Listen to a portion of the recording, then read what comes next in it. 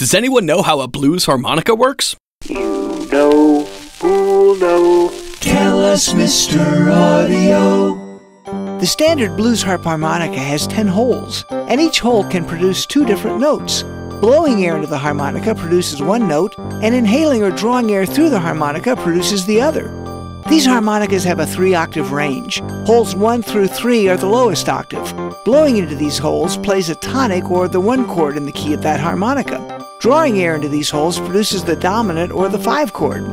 Holes 4 through 7 are the middle octave. These holes have a complete major scale in the key of the harmonica.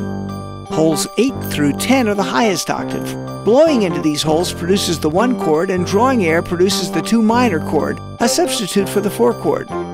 When these harmonicas are played in the actual key of the song, for example using a C blues harp in the key of C, this is known as straight harp or first position. More common, though, is what's known as cross harp or second position. Here, the harmonica player uses a harmonica that's a perfect fourth higher than the key of the song.